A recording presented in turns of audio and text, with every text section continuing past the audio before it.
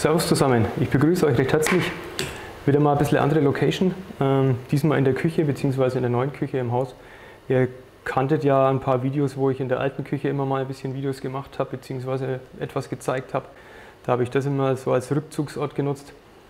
Ja, und ihr wisst, Winterzeit ist bei mir immer ein bisschen Vorbereitungszeit, Tackelzeit, aber auch Futterzeit. Und heute möchte ich euch zeigen, wie ich die, die Wintertage nutze, also die wirklich kalten Tage, wo ich ja, einfach nicht rausgehe, wie ich diese nutze und ja, mein, mein Futter, meine Partikel und alles ein bisschen fürs Frühjahr, fürs Sommer, für die schnellen Ansätze vorbereite, wie ich das verfeine und ja, alles, was damit zusammenhängt, das seht ihr im heutigen Video. Im Endeffekt beginnt alles schon, ja, ich sag mal zwei, drei, vier Tage vorher. Ich habe hier ähm, ja, drei Eimer stehen. Ich habe hier meinen Mais schon mal in, ins Wasser eingelegt. Den lasse ich einfach mal drei, vier Tage vorher schon mal ziehen. Dann habe ich hier hinten die Tigernüsse und hier den Hanf, den muss ich dann auch noch kochen, beziehungsweise kommt dann in den nächsten Topf. Ähm, hier dann noch den, den Hanf drin. Da lasse ich das einfach schon mal ziehen und somit kann sich, ja, können sich die Partikel einfach schon mal vollsaugen mit, mit Wasser und es ist einfach ein bisschen schonender, wie wenn ich jetzt ja auch die, die, die harten Partikel gleich in den Kochtopf haue oder mit heißem Wasser übergieße und dann ziehen lasse. So können Sie sich einfach in Ruhe einfach ein bisschen schon mal vollsaugen, ein bisschen ja, vom Volumen her ein bisschen erweitern. Und wenn ich sie dann in Kochtopf haue, muss ich sie auch nicht eine Dreiviertelstunde lang oder eine Stunde kochen, sondern es reicht manchmal sogar schon 15 Minuten, 20 Minuten, je nachdem, wie sie sich halt bei der Temperatur, wo sie gelagert worden sind, vollgesaugt haben. Jetzt im Winter natürlich in der Garage, da hat man auch nur 5 Grad, vielleicht manchmal 8 Grad, 10 Grad, dauert das Ganze natürlich auch länger. Also da sind vier Tage vielleicht wie im Sommer zwei Tage, so sage ich jetzt einfach mal. Und wie gesagt, da habe ich die Partikel schon mal ziehen lassen. Dann hole ich sie da raus und dann geht es ab in die Küche, in den Kochtopf. Da verfeinere ich sie dann noch, beziehungsweise nach dem Kochen werden sie verfeinert. Und wie ich das jetzt alles mache, was da noch reinkommt und wie ich mir dann diese kleinen Kilo-Bags, die ich mache im Endeffekt, wie ich mir die ja, zubereite, wie ich die lager und, und wie das alles passiert, das zeige ich euch jetzt dann gleich.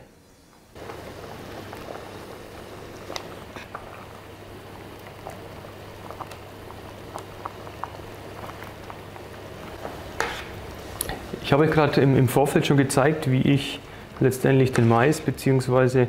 Ähm, ja, die Partikel, die Tigernüsse und den Hanf, das was ich mir eben halt vorbereite, ähm, wie ich das schon mal vorbehandle. Wie gesagt, ich weiche mir das bzw. lege mir das drei, vier Tage einfach schon im Vorfeld in, in Wasser ein und dann koche ich ihm die ja, letztendlich nochmal im, im Kochtopf nochmal richtig durch. Ähm, beim Mais ist es so, der, der, bricht dann richtig auf und kriegt nochmal richtig Volumen beim Kochen. Bei den Tigernüssen, die werden einfach, ja ich sag's mal, einfach ein bisschen weich.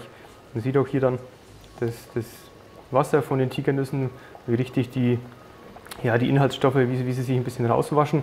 Bei Mais habe ich jetzt extra Salz rein, damit sich die Inhaltsstoffe nicht so auswaschen, sondern damit das Wasser einfach ja, durch das Salz schon, schon gesättigt ist und somit die ganzen Inhaltsstoffe vom Mais nicht noch rauszieht, sondern das eigentlich eher im Mais drin bleibt. Bei Mais habe ich es auch jetzt dieses Mal so gemacht, beziehungsweise mache ich es ein bisschen anders wie das letzte Mal. Ich mache mir eine salzige Variante vom Mais und eine süßliche, wo ich dann ein bisschen hier ja, einfach handelsüblichen äh, Vanillezucker eben äh, reingebe. Oder ich habe hier noch ja, Bittermandel oder so, so Buttervanille oder sowas. Da könnt ihr echt bei Mais und bei den Tigernüssen alles reintun, was ihr im Supermarkt findet. Da sind euch ja, zum Verfeinern von den Partikeln keine Grenzen gesetzt. Ihr seht es auch hier schon liegen im Vorfeld, ähm, habe ich so, ja, so Vakuumtüten bzw. Folienbeutel.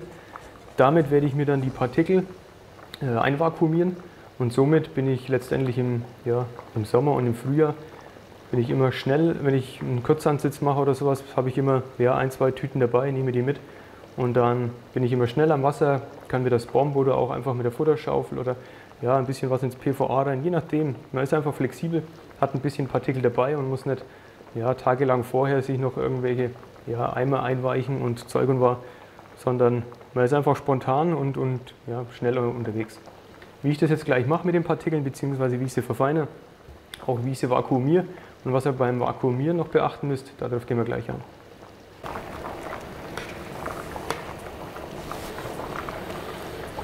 So, der Mais und die Tigernüsse. Ich habe jetzt eben schon mal kurz nochmal ja, Wasser nochmal dazugegeben, weil man sieht dann einfach, dass sich der, der Mais und die Tigernüsse und das alles immer vollsaugt. Und ja, das, das Wasser dann wirklich noch richtig aufnehmen. Ähm, wie gesagt, den Mais habe ich gesalzen. Den, da werde ich jetzt die ersten Ladungen ich einfach ja, salzig machen und dann die anderen Ladungen noch ein bisschen mit, mit anderen Sachen verfeinern. Auch bei den Tigernüssen habe ich noch mal ein bisschen was, Wasser nachgegeben. Saugen sich auch noch mal ja, schön voll.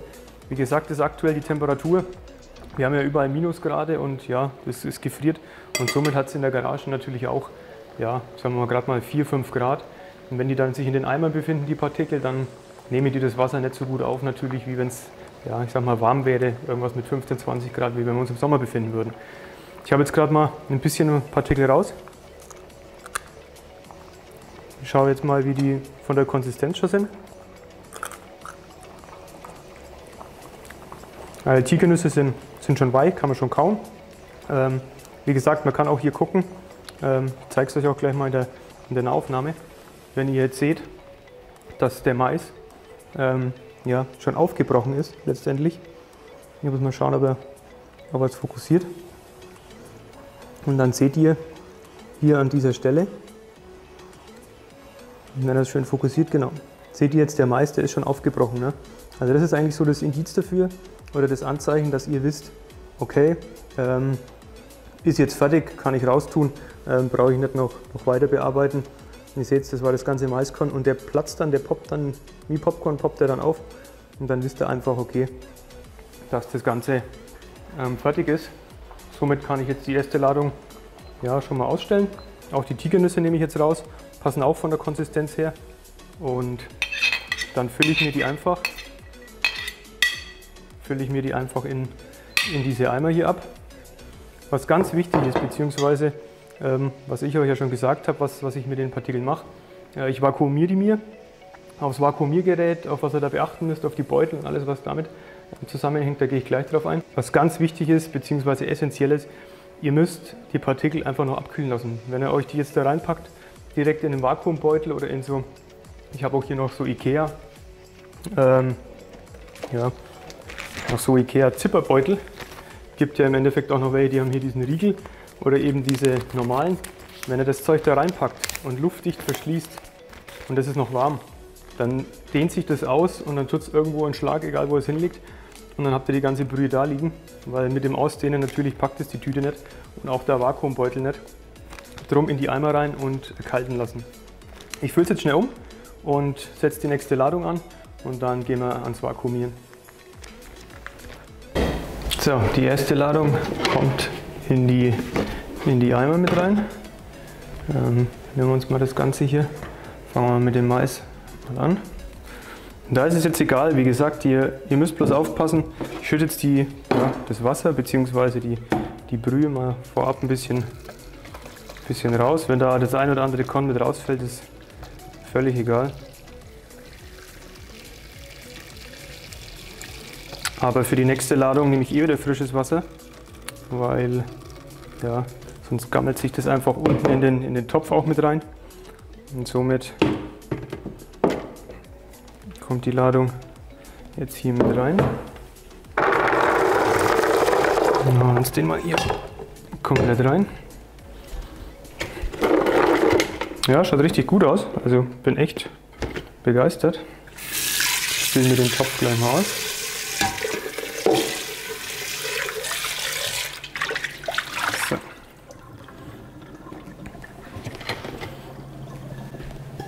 Der kann gleich wieder hier hin. Und Tigernüsse, das gleiche. Auch wieder ein bisschen vorher die Soße ein bisschen abschöpfen.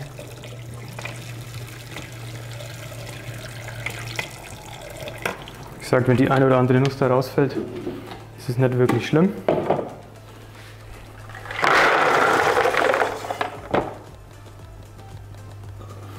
So, da natürlich das gleiche.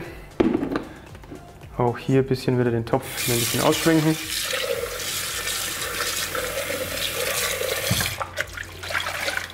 So.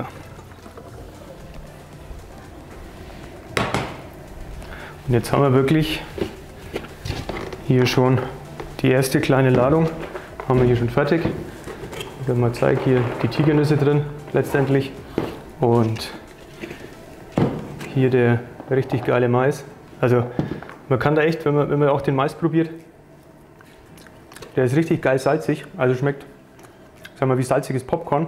Ich hatte gedacht, dass ich vielleicht noch ein bisschen ähm, was nachrein machen muss, aber der nimmt es vom Wasser so an und ja, ist perfekt vom Garpunkt. Also richtig schön aufgebrochen. Ähm, Seht nochmal, der ist wirklich richtig, richtig geil. Ähm, schön aufgebrochen, also schaut super aus.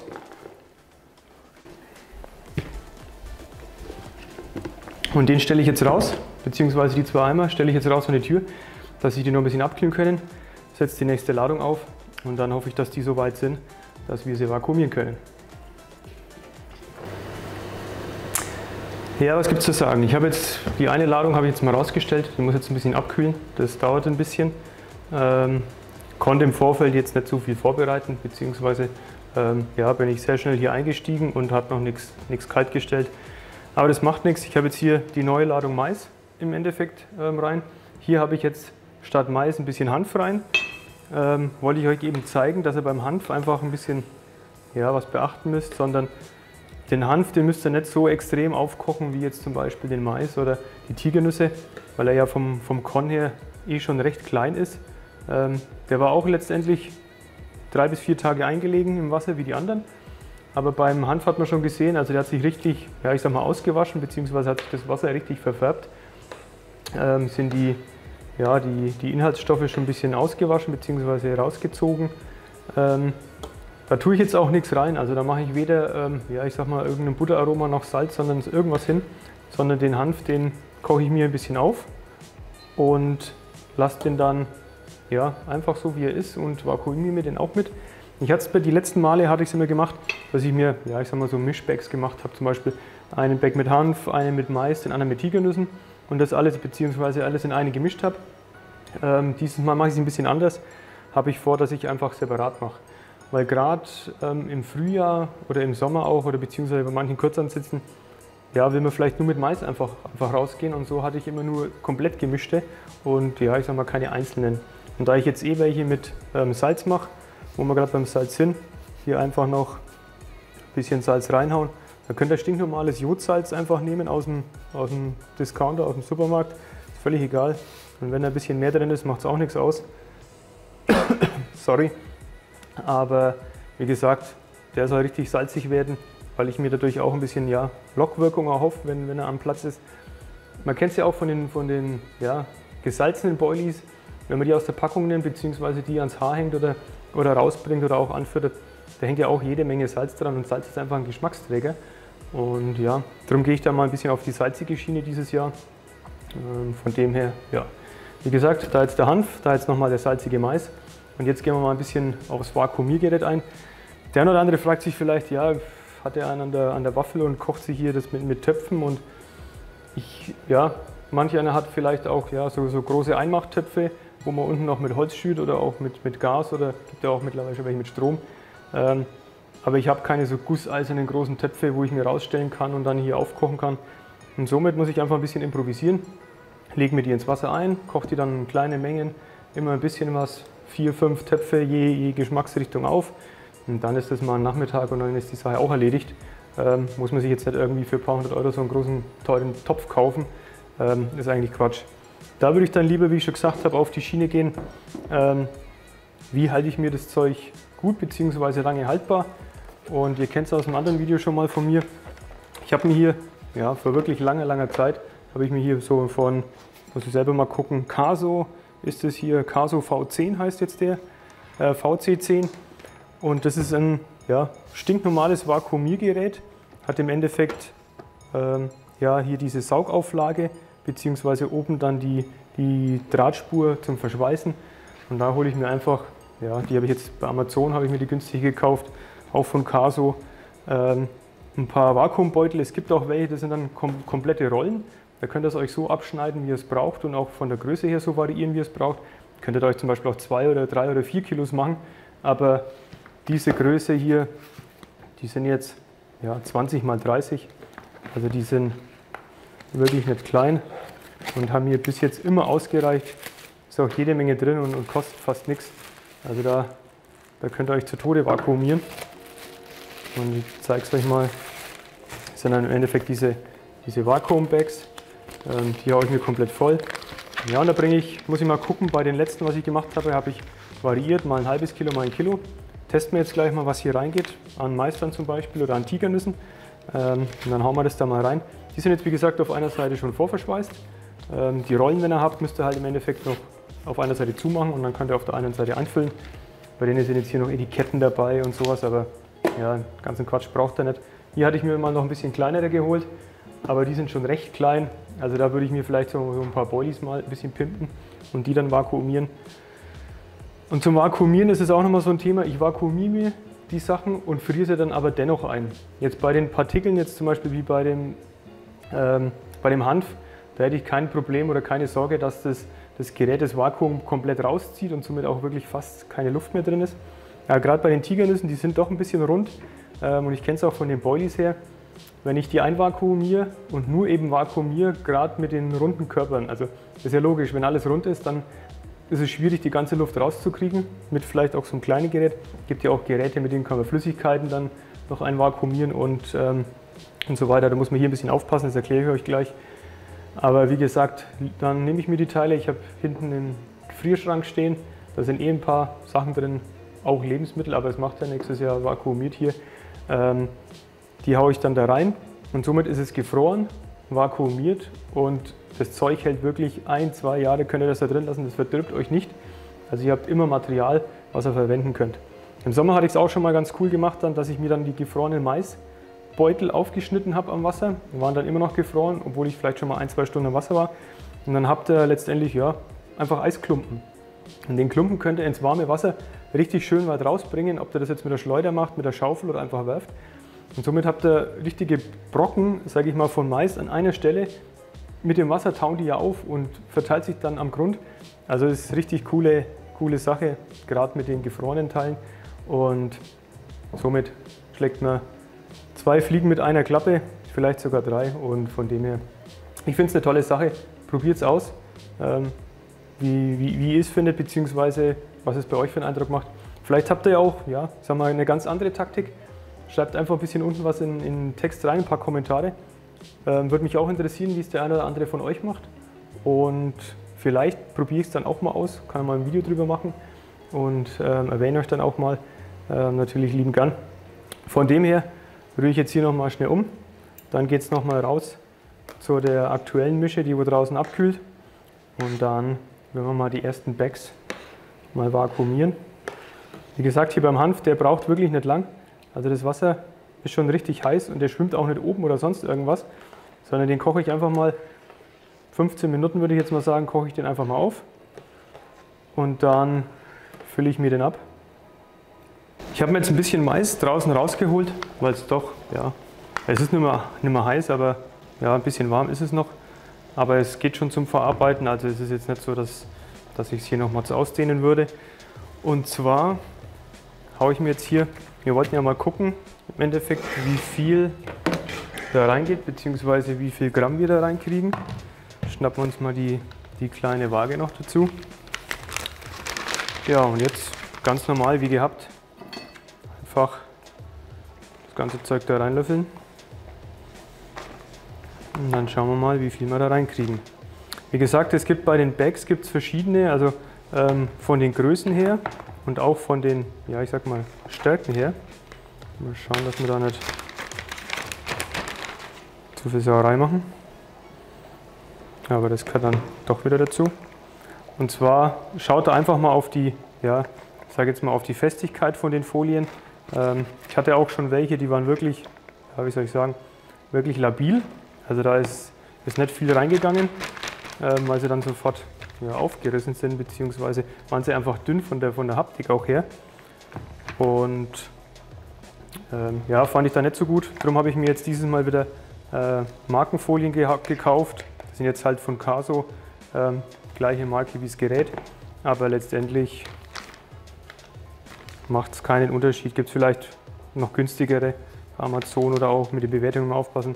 Jetzt haben wir schon 600 Gramm haben wir schon drin. Also ich würde jetzt hier wirklich das das Kilo mal voll machen. Ich schaue jetzt, dass ich die Flüssigkeit eben nicht hier mit, mit reinkippe, sondern dass die hier unten in dem, in dem Behälter bleibt. Es gibt Unterschiede bei den Vakuumiergeräten. Das hatte ich gesagt gehabt. Manche, denen macht das nichts aus. Ähm, die ziehen die Flüssigkeit im Endeffekt dann ähm, halt mit raus. Bei dem günstigen Gerät jetzt wird einfach die Flüssigkeit hier in dem Gerät sich sammeln, beziehungsweise wird die ganze Soße dann darunter laufen. Ähm, da müsst ihr einfach mal ein bisschen aufpassen, dass ihr da eben mit der Soße ein aufpasst. Genau, so, jetzt haben wir genau ein Kilo. Stellen wir mal dahin. Und wie ihr seht, ist es eigentlich schon, sage jetzt mal, ja, kompakte Größe. Ähm, man kann sich das jetzt dann eben im Endeffekt noch so hindrücken, wie man es wie braucht letztendlich. Also ihr könnt es jetzt dann einfach noch ein bisschen plätten beim, beim Vakuumieren. Und jetzt schnallen wir das ganze Gerät hier mal dran. Wenn ihr jetzt merkt, dass ihr hier, ich sag mal, viel Flüssigkeit drin habt, ähm, seht ihr ja unten, dann könnt ihr euch das ganze Ding auch einfach so ins Vakuumiergerät legen, über die Kante legen, ich zeige es dann auch nochmal in der Aufnahme und dann die Luft raussaugen, weil dann bleibt die Flüssigkeit unten, weil die schwerer ist wie die Luft und das Vakuumiergerät kann die gar nicht ansaugen. Ähm, ist natürlich auch keine, keine schlechte Sache in dem Sinne. So, und dann einfach zusammenklappen. Könnt ihr euch das Ganze noch ein bisschen, noch ein bisschen ja, ich sag mal, breit drücken, beziehungsweise euch noch ein ausbreiten, dass ihr halt ein, ein gerades Back dann am Schluss bekommt. Und dann geht es auch schon los. Könnt ihr auch immer noch ein bisschen drücken dabei.